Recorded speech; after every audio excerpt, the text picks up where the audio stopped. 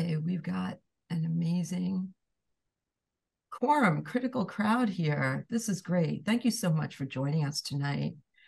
I am, and don't mind me as I multitask letting people in.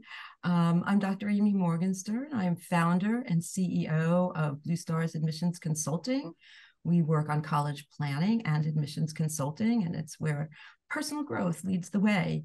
And thank you so much for joining us on a Sunday. And I do want to say that time management is one of my absolute favorite topics.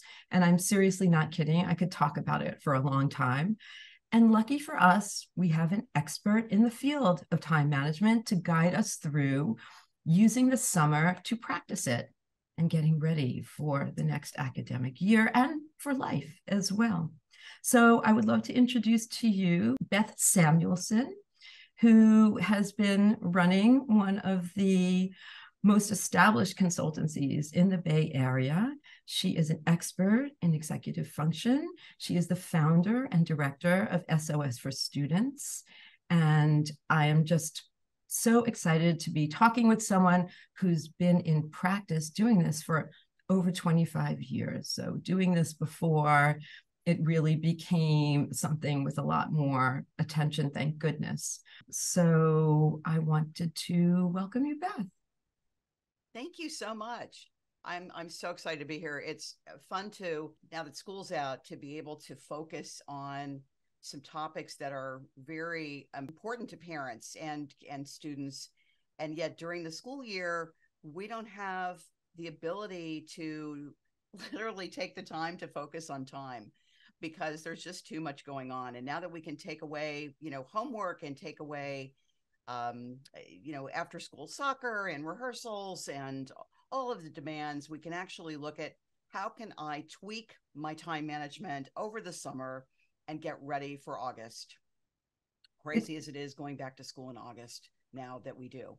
So you've got uh, you know a couple months here to work on this. So we're here to talk to you about how to do that with with some quick tips. This is going to go by, you know, pretty fast. So have your notes handy and uh, your pen and paper, you know, because taking notes is a, a strategy near and dear to my heart as an executive functioning expert. You won't remember what you heard unless you record it.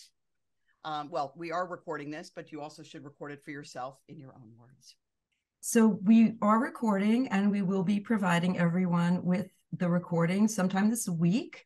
I do want to note too that I know that there are some students of mine, at least, who are attending. And hi, guys, and right on. Love you guys for being so proactive. We have made this webinar, it's a bit more pitched to parents, but for the students who are who are here, you're amazing and you are going to be amazing parents too. So hopefully, I think this will be uh, extremely helpful for you as well. So I think I'm going to share my screen so we can just get started on these Absolutely. tips.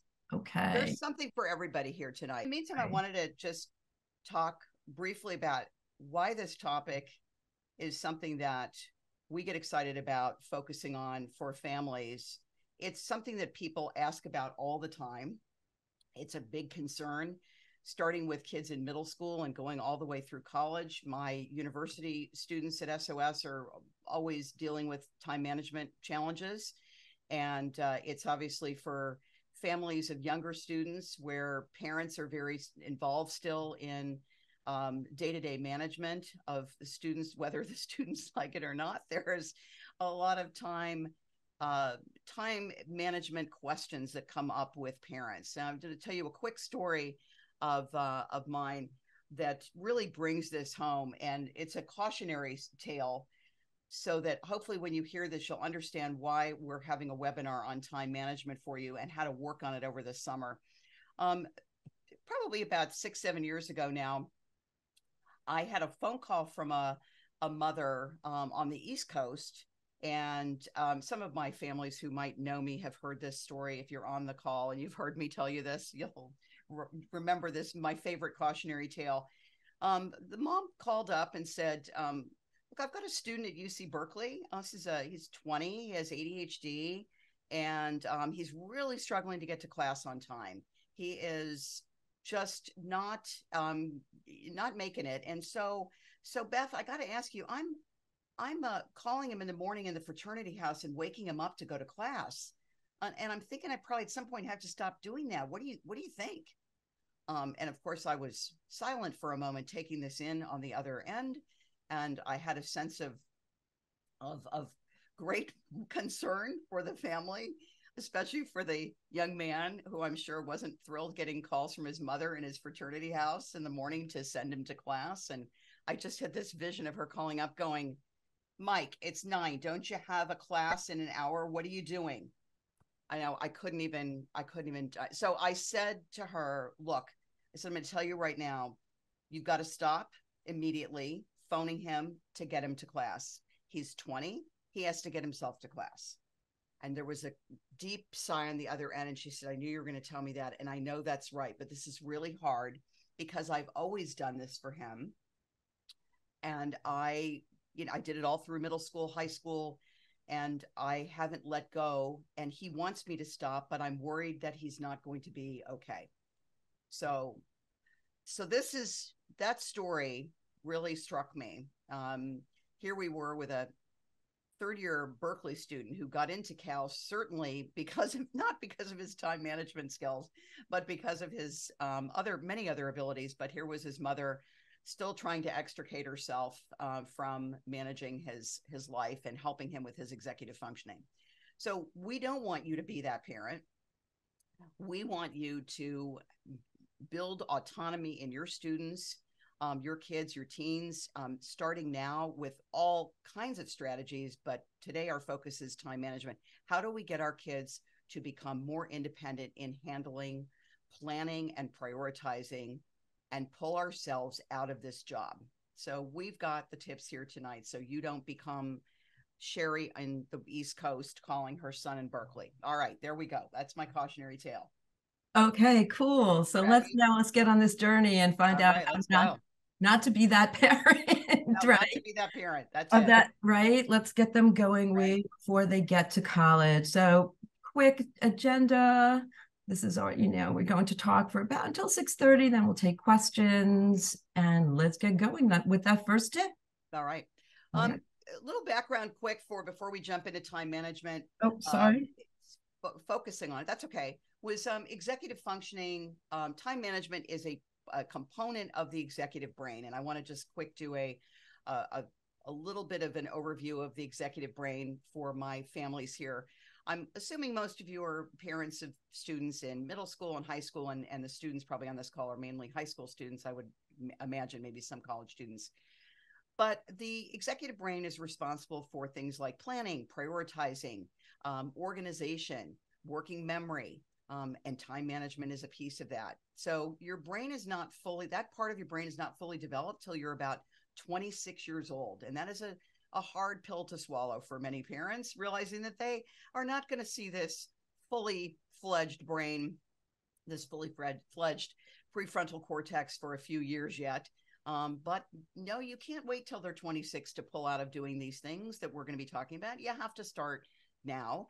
Um, and executive functioning is improved with strategies and, and opportunities to practice and having good modeling so time management is no different than all the other components that we talk about at SOS. Um, it requires modeling, it requires practice, and um, and in order to become independent, you have to have some good tools. So it's a, it's harder for kids with ADHD and learning disabilities. These skills are often even more delayed um, in coming into uh, fruition, and we we know um, that time management is a struggle anyway for for many of us, regardless. And so um, let's jump right in. I like that model, practice, and tools. Those model, three, practice, and tools. Model, right. practice, those three key things. All right, let's get the first tip going. Okay, you ready? Yeah, I'm ready. Okay. All right. So here we are in the summer, and it's a big uh, relief for everybody. No 7 a.m. wake ups, hopefully. I don't know. Some of them have, I guess some of your kids might have jobs or camp um, but uh, still at least the the uh, wear the wear and tear of the uh, school day is is is released a little bit for for now. Um, so the responsibility for things like getting up in the morning, um, knowing where they have to be, whether it's for a counseling job or a camp or um, a doctor's appointment. These things need to shift over to adolescence pretty quickly. Um, we are you don't and this this is really this important tip here don't do for kids what they can do for themselves when you're trying to do autonomy supportive parenting you're boosting kids skills to be independent in these uh, life hygiene, life management strategies. Waking up is a big one. You know, there you've got my my mother on the East Coast waking up her 20 year old as a perfect example. I see this all the time. Families coming in my office telling me that they're still, you know, getting their kids out of bed to go to school in the morning and they're frustrated and they're tired and they don't want to be the human alarm clock anymore. And um, they are telling their kids, I've had some students say, you know, I didn't know I was even meeting with you, Beth, for the first time until today at three o'clock. Mom said, We're going to an appointment. You're going to meet this executive function coach. I'm like, Wait, nobody told you that you were coming in to see me? Nope. Uh, you know, parents are shaking their head. No, I did tell you. I talked to you about it a week ago. Was not on their calendar, not on their radar. So, a lot of time management cueing happens from parents telling kids where to be and and reminding them verbally. And this is something we're going to that's going to be a theme throughout this this short presentation is pulling out of doing verbal reminders and cueing and starting to minimize directions that you give your kids and set expectations for where they have to be and when and what you assume they are taking charge of. Okay. So, yes, you should start waking, eh, start moving over the job of waking yourself up to kids over the summer. You can set an, a, a time frame. You really should be up by, you know, if you don't have an early morning responsibility, you should be up by nine. Um, I expect that, and um, I'm not going to come and get you and appointments. Um, so we're going to talk about how you get appointments and doctor things and all of that to your kids. You've got meds, the you know students need to take ADHD medication, for example that can be sitting in a little container next to the bed with a glass of water set there by the student in, you know for use in the morning. So these are you know plenty let's say the student um, struggles in the morning not a not a morning person. I can relate to that. Amy and i've talked about that. We're both night people and i never was and i'm not now. I'm better off if i figure out what i'm going to wear the night before. I lay it out and it cuts down on the morning decision making that I don't have the bandwidth to deal with. You know, time management in the morning is a struggle for kids during the year. So mm. let's get that squared away. Don't give kids a lot of decision making in the morning. It slows everything down. All right. So that's critical. All right. So we're moving.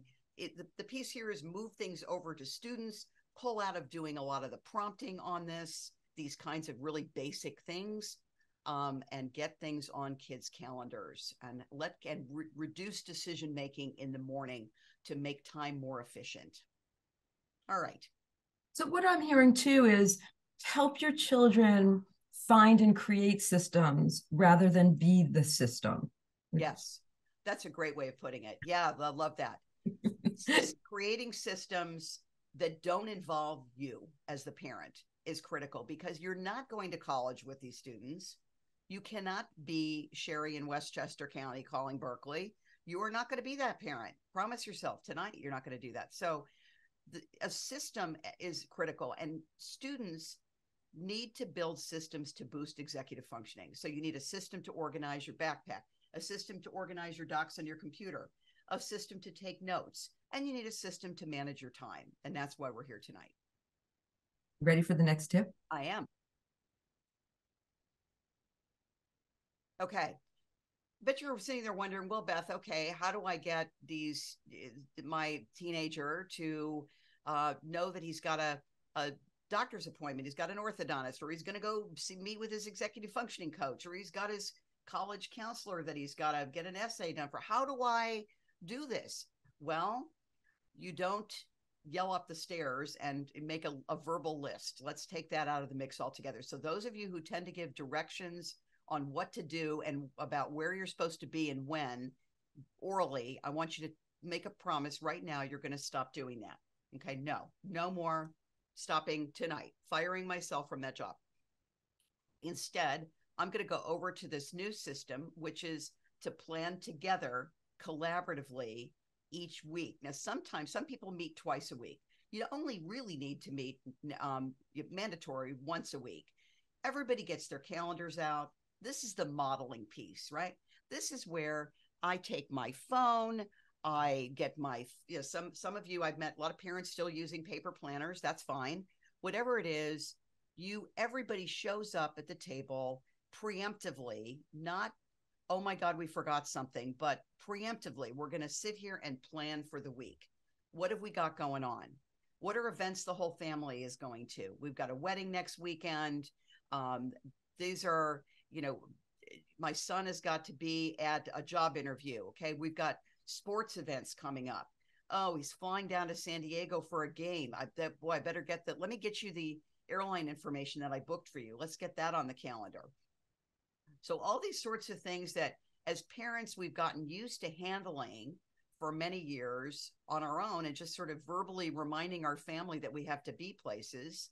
Um, now we're going to let everybody do this together. Now, how do you do this? You sit down and everybody shares what they know they've got coming. Okay.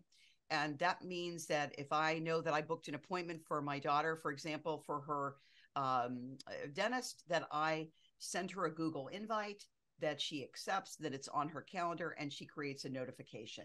You'd be shocked how many of my teenagers in my practice with coaching really have not used the system very much. They don't know how to regularly, you know, accept invites. I parents complain the invites sit in the email. Well, tell your kids you've got to say say maybe, and if it's maybe, tell me why, and if it's a yes, get it in there so it's booked in the calendar. So there shouldn't be any ambiguity. Let's say I know I'm going to need poster, uh, a, a poster board for a project. Let's not be doing that at 11 o'clock at night. Let's make a plan for any supplies pickup. Let's get the supplies on the calendar. We need a supply pickup. Great. Okay. No 911 last minute rescue. Okay. I'd like your help with the test prep this week. I've got a, a exam coming up. I'm wondering if you've got any time, Dad, to help me out with the prep for that. Make sure you give parents enough notice. Everybody needs to have be front loaded, we call it in the executive functioning world. We front load people on what's coming so they're not blindsided by 3 p.m. meetings driving to me going, Who is Beth Samuelson and why am I going to her office? So um, so advance notice is key here. All right. And that last bit there, empower, you empower your students by giving planning and scheduling skills to them in this way. Um, they can come in and plan with you. And they've also, they might have their own events coming up. My daughter, for example, has been coordinating community service for her high school. And I've pretty much left that to her. But you know, we have to drive her still. She doesn't drive. So I can't have her just announcing to me or my husband at the last minute that we have to drive her someplace. We both work. And if we don't know about it in advance, we can't do it. So um, I've made it very clear that she has to send us a, a, notification on the calendar that she needs to be driven to her job at the, her community service piece. And so we we are abundantly clear we're involved here. So. I just want to say, yeah, I love the Google Calendar piece, the second yeah. bullet point to get parents into the habit of doing that because that as soon as a student signs on with us, we teach them Google Calendar. And even if they don't get it immediately, yes. over years, I mean, these are young minds. They weren't suited for this. the Google Calendar was not made for the teen. Um, so we get them used to it. But if parents were collaborating, as well, then you know that's that sort of you know the, the multilateral, the multifrontal approach. So I love that. Should yeah, we- I think having a consistent approach, Amy, like that everybody's using in the house. Mm-hmm. It's tough when one person is using Outlook, somebody else is using a paper planner, somebody else is using a whiteboard. You know, it's just it, it, and every we need to address people's preferences. Obviously, everybody's got a, a you know, and it's fine if you still like a paper planner you like having a whiteboard, but everybody, the digital piece, everybody can use and it's very helpful. So it's a life skill. It's a life skill at this point. Let's move on. Let's move on because we've got more tips and we have some questions. Yeah. So, all right, let's get to tip number three. Okay. how do you get kids to plan effectively together and eventually pull yourself out of the job of doing the planning for them? Well, you start by demonstrating planning. You start by demonstrating how to use, and I've literally done this with my younger students, uh, particularly, and even with some high school students that don't use Google Calendar. I model how to use the task bar on the right hand side, um, how to add events, how to create notifications, how to make sure you've got, if you need it, two notifications. Like I need a, you know, I need a, a one day warning and I need a 10 minute or a 15 minute warning. That all has to get put on there. Anytime you are introducing a new skill, modeling is key. It doesn't matter whether it's using a using a planning system, using the dishwasher, all of that is let me show you how to do it and then then we're going to move over to doing it together. So model first. Step two is collaborating, planning together. Um, so that's when you are doing some of your cueing, you know, your prompting. Hey, you know, don't uh don't you have a uh you, let's see, don't you have an interview for a volunteer job on Thursday?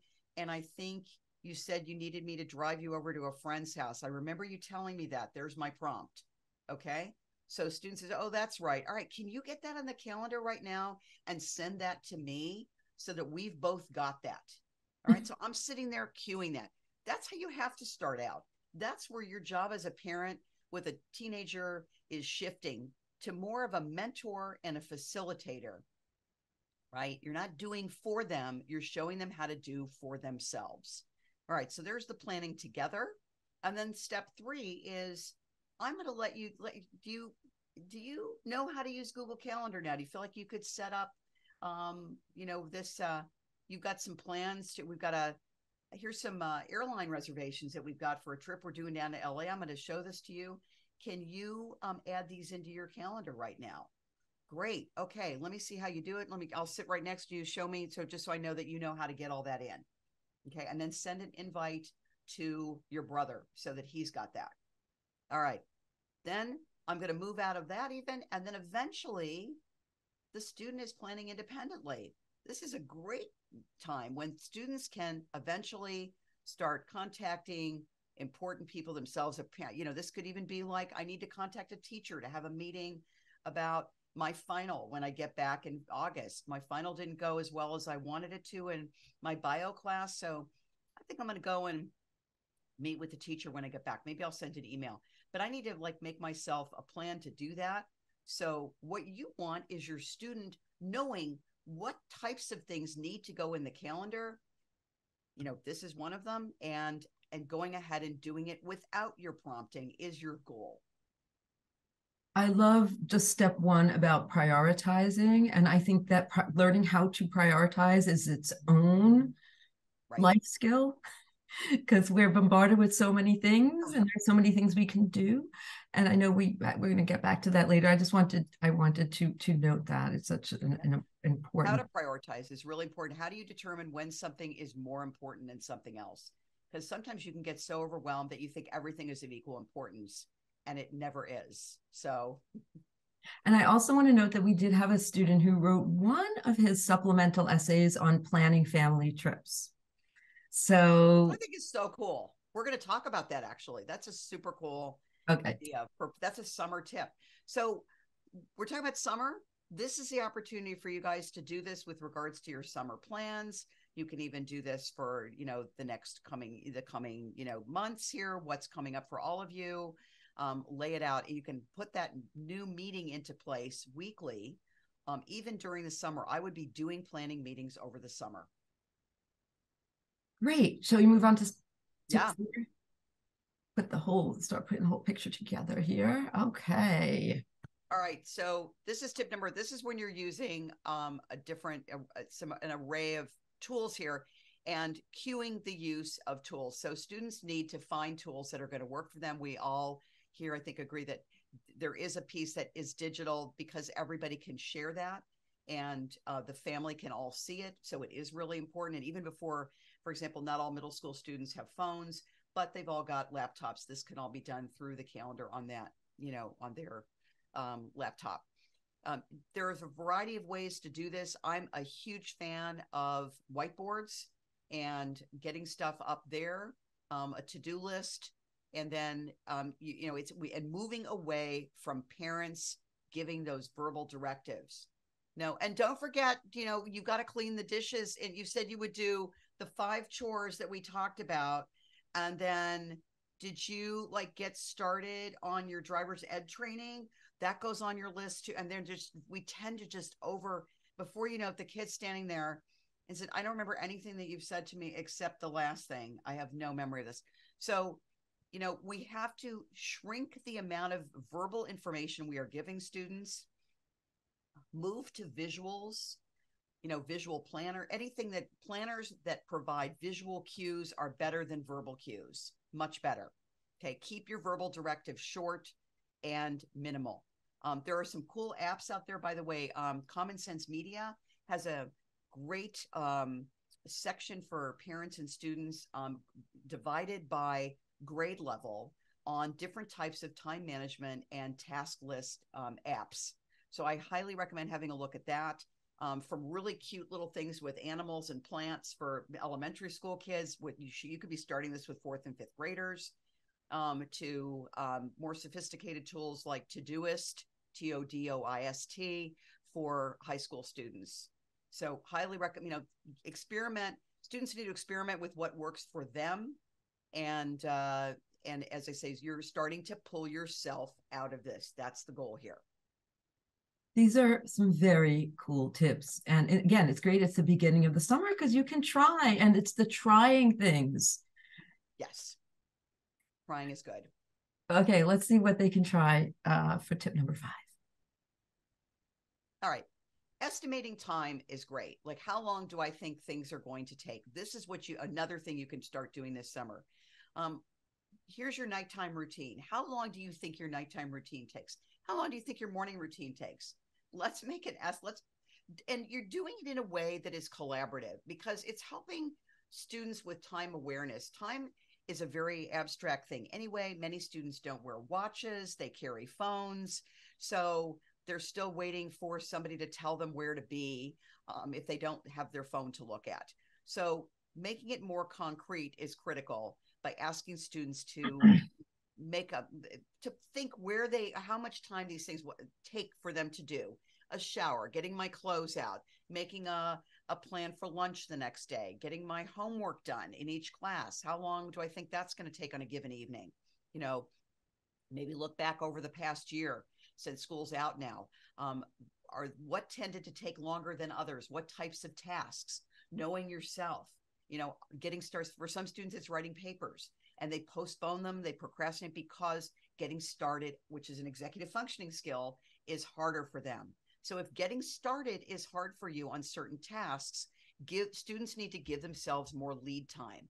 And that and estimating how much time they need maybe to get going on that essay, you know, with its, you know, preliminary steps, brainstorming and outlining and so forth, is key to having a better grip on what they're going to need during a limited day post school to get things done.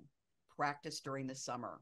Um, shortening timeframes, like we talked about, not doing clothes, um, you know, in the morning, choosing clothes the night before.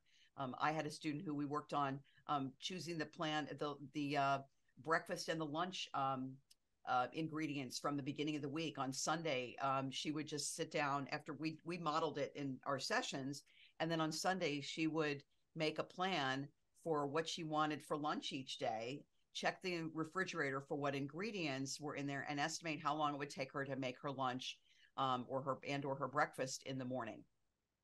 Um, I also have students share um, sh- and parents share shopping lists with students, so that shortens time too, like grocery lists. Have that for everybody to access. So estimating time critical. Predict how long things are going to take you to do for us, this is a key piece of personal growth. So when we, you know, when students, as soon as they sign on with us, whether they're ninth, 10th, 11th, one of the key things we do is let's share the screen, let's look at the Google Calendar, introduce us to your day, talk to us about your routines what's the time between you get up and when school starts etc and we go we're very nosy but that's how we can start to instill that that consciousness that time that the quantitative time awareness which again is an essential life skill. I like what you said about consciousness and awareness. Like that's really what this is. It's building awareness of these things. When you are a passenger in the car of your life and your parents are doing all this heavy lifting for you you don't pay attention to it if i'm waiting for my parent my mom to tell me when i'm supposed to leave for school i'm not paying attention to what time it is so if you're frustrated with your kids for not moving on this and not paying attention to time i really suggest you reflect on is there any way that you can change what you're doing parents to facilitate the growth in this area can I pull back? Can I stop giving prompts? Can I not be the person telling them we have to go, we have to go? Yes. So where can I stop? Fire yourself from that job sooner rather than later because it won't get easier for students to do this the longer you stay involved. And I do want to say, and I first of all, I do want to note we have two bonus tips we're going to get to very quickly and then get to questions, but I do want to add on to that too. So if things don't turn out the way a parent has imagined by the end of the summer, the summer after it might all come together. So it might take longer than you think or you imagine you want or you wish because you're tired um, and you want to change the dynamic with your child. But you know, we've worked with students who they were super sluggish at the beginning. And I had one student in mind, she just lost it over COVID and just scoffed at us. And she was also very creative. But when A push hit in 11th grade, all the stuff, you know, we, we keep telling her and reminding and practicing, not in a nagging way, just this could help. When A push came, it just everything kicked into gear and she got into some amazing colleges. I mean, she's just so even if it doesn't feel like it's working immediately, trust yes. the process. Yes. And parents are sometimes surprised, like when they pull back and say, it's on you you know you have to get yourself the students step up raise the bar and allow students to make missteps because they will. They're not going to their executive brains are not the executive brains of a 50 year old they are not. And so or even a 30 year old so there are there are going to be you know just bumps along the way and that is okay. So instead of getting upset about it and saying why didn't you manage your time better? Okay real quick tip added tip don't ask why questions because they sound like accusations. So you want to get away from why didn't you manage your time better? So it looks like you um, were frustrated because you were late today. Can do you want any help thinking through how to do this differently? You know, or do you have any ideas for how you could manage their time in the morning differently? Involve your students in making the changes and being the the solution makers not you don't have to provide all the solutions either. That's autonomy building as well. And that might mean you have to take a little pause. Yes. A pause before the why did you or why didn't i take a breath. Yes. It's hard. Right.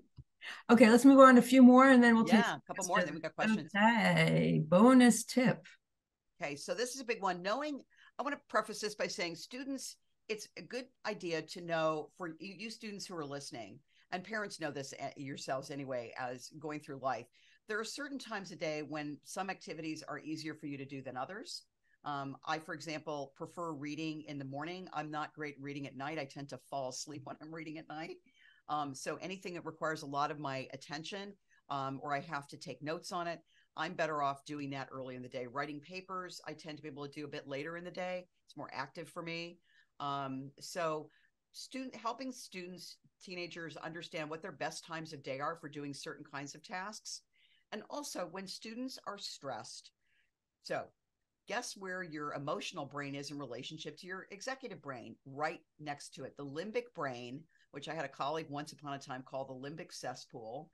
It's a great phrase is which is where you just go when you're you know anxious about a test or you're unhappy about uh, uh, something that happened with a friend that day. And those can affect your ability to activate on tasks, to organize, to get started, to manage your time. And it's hard when your parents come in and they're feeling like you're in that, you're feeling like you're in that mode, students, and your parents come in and say, Well, no, I, let's just let me let me sit down with you. I'll, I'll help you plan. Let's let's get a let's get a plan for this paper going. I, that'll help you feel better. You know, in that moment, that's probably not the best thing to be doing. So, the good thing is to know when can you take a break and reflect, and then come back and put your executive brain back in action. If your limbic brain is kind of flooding you, take time out, and that's okay. Take a walk, get the dog out, go do another activity, text a friend, you know, go play the piano, paint a picture, do something different.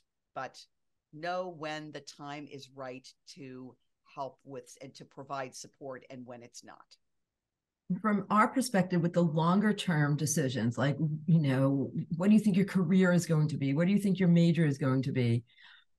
You know a teen isn't not going to be able to make those decisions when they're stressed or under pressure or feel like they have to make that decision. But when they're exploring and they have some time you know. Yeah so being sensitive to your kids best times to have those conversations is really important and recognizing that just because you're in the mood doesn't mean they are in the mood or they can take it take it in at that moment. So mm-hmm. step away and don't be don't have your feelings hurt about it. Just say you know what? It's not working for him right now. My son just needs a break and i'm going to walk away and we'll talk about this later. Okay? All right our last bonus tip. All right. All right so training kids to figure out how to prioritize comes from starting out with making lists of to dos and grouping the to dos into um, what's coming. First of all, what's in proximity? What is the high, highest weight, you know, point wise, credits, you know, for grades? Um, something is coming due, or is it something that I can put off? What can I postpone doing? I like to use the model of do I delete it? Can I delegate it? Do I defer it? Or do I deconstruct the task and make it more manageable? Those are all things to think about. So yeah. you can't fit everything into a day. Again, a visual is really helpful. In our workshops, we have the students take a calendar and actually block out a typical week. So talking about it while we're making the calendar and you the, the students can see how much time is actually remaining in the day to get work done. Here's my little block. Oh, and I've got a free period there okay, how can I use that block? What's a priority for me? I'm most awake in the morning. Okay, I need to go see the teacher about help and I need to get started on my paper early in the day. So, knowing what works for you and what you can postpone and teaching the again, this is something you can model, you can practice together, and then you have students practice it with your feedback, and then you students can start eventually internalize these. And you want these to become automated as these skills become automated, it's less cognitive load. Students aren't having to remember these and ask for help or get reminders from you to do these. They just know it. And automaticity is where we're all trying to get with our students so that I just do this without asking mom or dad for it. So we're back to providing the modeling, yep. providing the practice, and providing the tools. the tools, right? So this is a great way to just open up questions. These thank you so very much for this information rich uh, thoughtful presentation. While we're gathering questions, I'm just going to move on and um, I know that you are offering summer workshops, so yeah. I'll sift through the chat while you want to talk about that for a second. Yeah, that's fine. This is just to let everybody know, um, executive functioning wise, we've got your back this summer. And if you want students um, if you'd like to get some support on time management over the summer and planning and prioritizing, we've got some great opportunities for you to do it. We've got one on one summer coaching. Um, we've got an opportunity to get started on um, college applications and essays over the summer. And then we've got these fantastic workshops, you know, coming up mastering middle school for kids entering sixth grade and um, all the way up through note taking workshops for grades 10 through 12. You can see there's, and, and we've started a new workshop this year for students in grades four and five because it is never too early to learn how to plan and prioritize and take notes. You should be learning that is, you know, starting nine, 10 years old. It makes it so much easier when you're 16. It's essential. It really, yes. it's like nutrition. I was thinking about that today as we was preparing. It's like, Food it's like the brain. Really is. Food for your prefrontal cortex. Yeah. I just That's want this. Very much so. I just want to introduce the audience also to our team, the amazing counselors who work with us, and What we provide is admissions consulting for 12th graders, college planning starting in ninth grade, building in those healthy habits, um, helping students, you know, define their passions, their interests, execute these passions. Uh, we also specialize in art admissions. We mostly work with STEM students, but we are specialists in art admissions as well. And we've got a summer sale going to encourage people to start early. So just wanted to make people aware of that. So with that, I'm going to stop the share and give you your first question. All right. Uh, that's coming up. So give me one moment here. And um, let's talk about the waking up kids in the morning. Okay. what happens if I keep trying and the kid doesn't wake up? What do I do? Um, so we a lot of times the kids have gotten in the habit of their parents doing this for so long that they're really dependent on them. So there's a number of things that I have students do. So first of all, get a clock. Um, have a regular alarm clock. Set it away from the bed. Don't use the phone. Um, phone should be out of the room at night. It's better sleep hygiene. And you tell your you sit your student down this summer in a very congenial meeting, and you say, "I'm moving the waking up over to you. If the time has come, you're you don't need me to do this anymore. It's a vote of confidence on your part that you can do this now. You know, mom and dad can pull out of this. So um, I there's an alarm, there's an alarm clock for everybody. Have the student choose the alarm clock, pick out something they're gonna like. Um, I've seen really silly ones, like there's one for students with ADHD that like literally jumps off the counter and runs around the room. Like that's I need that. right? And you have to get it. Like there you go. And then it wakes you up um, I tell students to use the um, keep the blinds partially open so that you are getting light in the morning and it wakes you up a bit earlier. So wake up slowly, give yourself the time, minimize your decisions that you have to make in the morning. But, you know, at some point, you know, you have to say, I'm done and I'm not doing this anymore because you are not going to be able to do this in four years. And if a student is old enough to get themselves to college, they certainly are old enough to get themselves out of bed and into class. And our high school and middle school students should be doing this as well.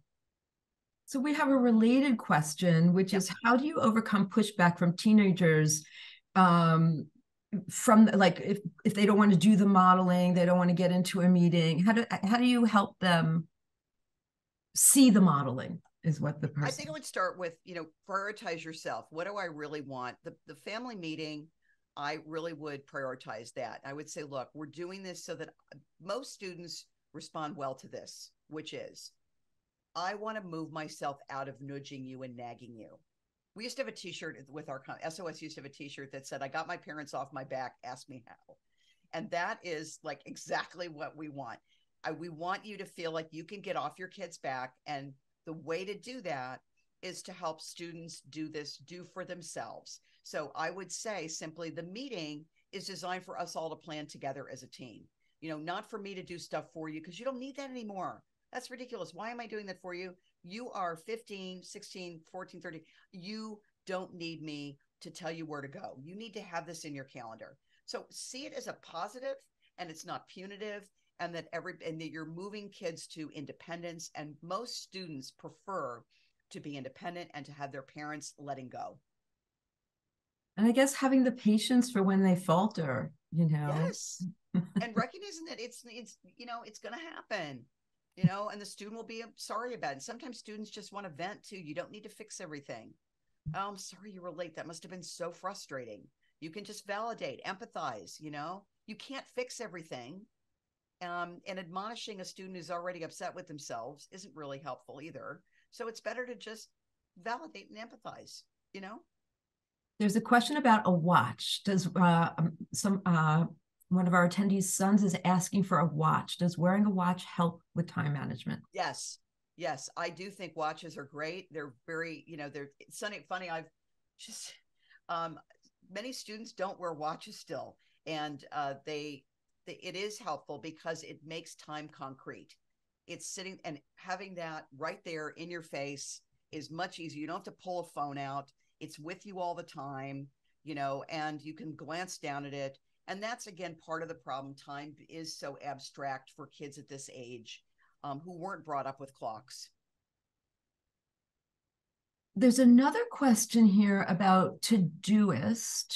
Yeah. And um, my son puts tasks in Todoist, but he doesn't remember to, to, to check it. How do I get him to check it on a regular basis? Oh, that's so that's funny. Okay. So how do I get him? See where the question was, how do I get him to check it? So okay. Yeah. we got to move you out of we want to get how do you get him how does he get himself to check it is the question you want to ask. So how he does that is by putting a notification on his calendar, check Todoist, because it's not habit yet. To form a habit takes a number of repetitions you know and and all the studies on forming habits and there's people that that's all they do is look at how people develop habits fascinating and, yeah right and and um tiny habits even like this which is to look at a list mm-hmm. um or you know i've had students that need to check schoology or check power school i they, i have them put it on their calendar with mm-hmm. a notification mm-hmm. and it's better if it's at the same time every day because repetition makes it easier to remember things Yes, this is a core piece of my practice as well. And I learned it from Aristotle's uh, Nicomachean. I, I learned it from Aristotle's Ethics because um, he understood that humans are creatures of habit and habituation in in helping them become, you know, si- you know, productive citizens of ancient Greece. That was a big piece. So that's so uh, amazing, like stuff that. And he didn't have an Apple Watch. He didn't need an Apple. He watch. did not have an Apple Watch. No, he did not. And speaking of watches, we have a follow up question on the watch, okay. which is digital or analog watch. Oh, that's a great question. Um, you know, I think um, there's there's good things for both. I mean, I I think that digital watches sometimes have um, nice features on them. Like it depends on what kind of digital watch. I mean, if an Apple Watch, a a Garmin, something like that, a Fitbit. Um, I think the kids do benefit from those. They're nice for things like messaging. Um, you know, you can message on there. You can. There's a feature on an Apple Watch that is like a um, a walkie-talkie where you can talk to somebody upstairs while you're downstairs. So that's helpful. So some of those digital watches are very useful in that respect and they count your steps and help you with exercise. So um but you know some and some of our kids don't have not been in the habit of reading regular reading analog watches. They don't um they don't know how to do it. So i don't think it matters. Um i think a lot of the digital watch i wouldn't buy an expensive digital watch for a young student. I don't think they need that. I think you can get. I think we got my daughter a, a, a low end Fitbit. You know, that's what she's been wearing mostly and I think it's it's perfectly acceptable. Whatever I would ask a student, what do they prefer? You know, do they? And some of the digital watches, you can make them into um, analog faces anyway if they like that and they think it's cool. But let the student choose. We have a question about what if they sleep through this the alarms and the snooze, and I'm thinking, let's get the alarm clock that jumps around. Maybe I don't yeah, know. Let's get the one you have to chase around the room. Yeah. Any um, other advice for that? I, I think that students, yes, if they're not in the habit of getting themselves up, they need to set, they need to come, they need to be part of the solution. So this isn't working, I would say. This would be my conversation. You're sleeping, you're having difficulty sleeping through, and I'm pulling myself out of this because it's not my responsibility to get you up in the morning. It's up to you to get to school.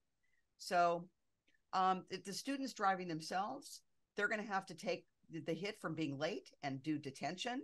I mean, some of this is taking responsibility for you know your own choices that you made um, so yeah it's hard to get up in the morning especially for teenagers who are not um, morning larks you know they're they prefer to be up at night that's how their body clock is wired it's also how you learn you that's how up. you learn i mess up right. i learn from messing yes. up I hated being late. I, I was embarrassed walking into class late.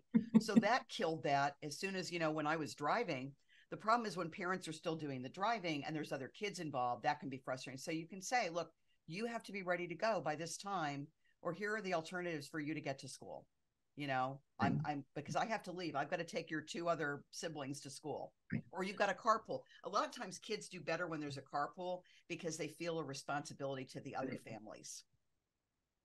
One last question, because I know we're going over, and I want to thank everybody for staying a little bit over. Um, just wondering if you have any advice to oh we just got another question in here though. Let's let, how, let this is an important one. So how, we got a couple of things in my chat i'm seeing the chat here there's two people yeah. Okay how, how, do how do we um help help kids remember to take care of their hygiene like brushing your teeth and things like that?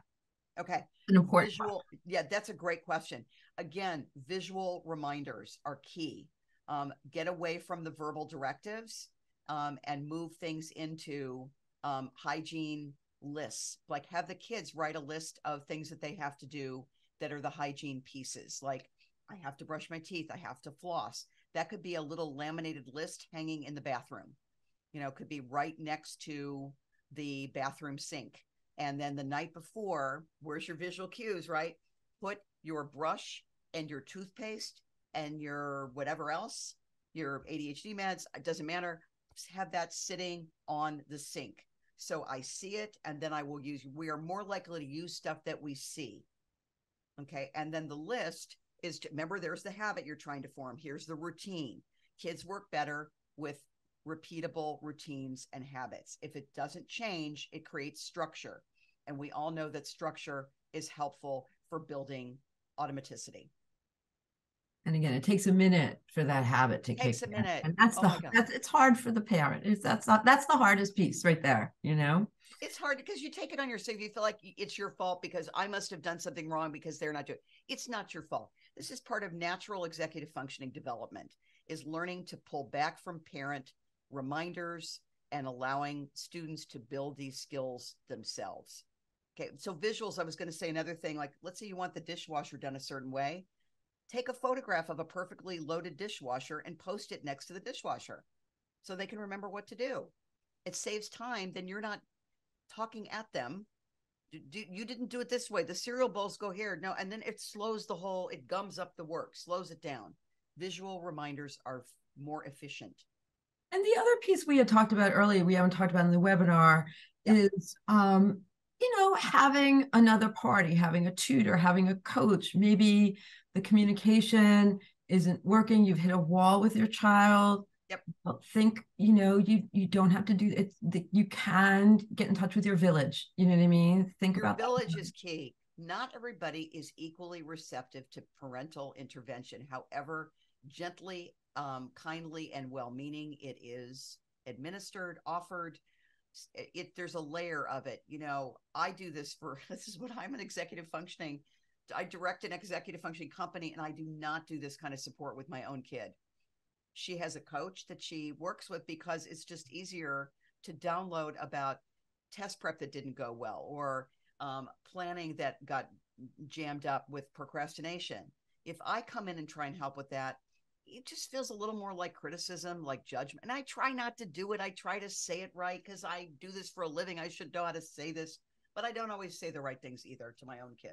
So the mom, the mom, I'm sorry to interrupt you. No, no, you're fine. The mom who had a question about the son and his hygiene, like a, um, a, an older teen role model or a, a, you know a male in his 20s who's looking sharp or whatever it is who maybe has the look that the teen you know what i mean that yeah. you know thinking not not thinking that you the parent has to be the solution for everything but yeah, like, you don't have to be the solution that's perfectly look into your network. Yeah use your network. Model yeah things like but they're basic things like toiletry toilet have you know like uh, showering and these kinds of things with with kids. We really have to build a routine and uh, and just make us this is the step we talk about an sos a lot by step by step. You know what are the steps to getting this routine done you know break the break the hygiene into deconstruct it into um, individual actions that you can take and everything is easier when deconstructed into smaller units much easier chunk it out chunk it out. chunk the darn thing out that's right exactly chunk it out. And i think that could be our our parting words. Yes. model practice tools and chunk it. And, and wait we had and the last one don't forget front load your kids let them know where they need to be when start planning helping um, uh, amy just to throw out what you said about planning trips. Last quick tip good summer thing to do. Um, you're going to a destination. You're going as a family. Doesn't matter where it is mendocino you know new york city banff i don't care where it is. Have your kids choose a day that they plan and break it up into how much time you know what are the activities you'd like to do? Where do you want to go what's a map of the route? How much time should we spend at each place? So that kids get an opportunity to think through something. It's novel but it's interesting and it allows them to also they get invested in it because they're making the choice to um, create the day that they're and and the whole family gets to go along on that day. So that can be a really fun way for kids to learn how to manage time. Yeah, so for parents to think, what are the opportunities here? Just like we often think in business, but now in terms of what are the, you know, how what are the opportunities to have my student, my my my student, my child step up, and, and where can I step back? Step up, yes. step back, right? Please feel free to um, contact, you know, either of us. Oh, I'm so good. We've got a little comment here. Just yeah. on the picture, yeah. Um, You've got a fat. Of course, you have a fat. You're amazing. Oh, thank you. You're so sweet. oh my God, I really appreciate that. Um, somebody there's an alarm clock that has an app on your phone so you can snooze or turn off your alarm. What is frustrating is sleeping through the alarm and snooze. Yes, it is incredibly frustrating. Yeah. So yeah, so leave light on in your room, the sunlight that helps a lot. It turns off. Just a quick note about sleep with teenagers. Um, the pineal gland, which releases melatonin, um, stops the release of melatonin later in teenagers than it does in adults. So and it and it starts it later, so that that's why they want to go to bed later. Mm-hmm. So if you throw light into the room, bright light, it shuts off the flow of melatonin and gets them awake sooner. So that's a tip I, I give to my teenagers to leave a little chunk of sunlight coming in. Okay, it works. Thank, Thank you so much, everybody, for Thank coming. You. Thank you. Thanks, Amy, for having me. This was so uh, fun. It's always great to converse over. always appreciate this over time management. So, yes. yes, we will be sending the recording to all the attendees. So, if you want to check it out or share it with people, that'll be coming this week. And you can get in touch with us anytime. Thanks so much for attending and happy rest of the Sunday to everyone. Happy and happy rest of the summer and get in touch. Happy summer. Yeah. Have fun, enjoy it, and do some Thanks, everybody. Take care.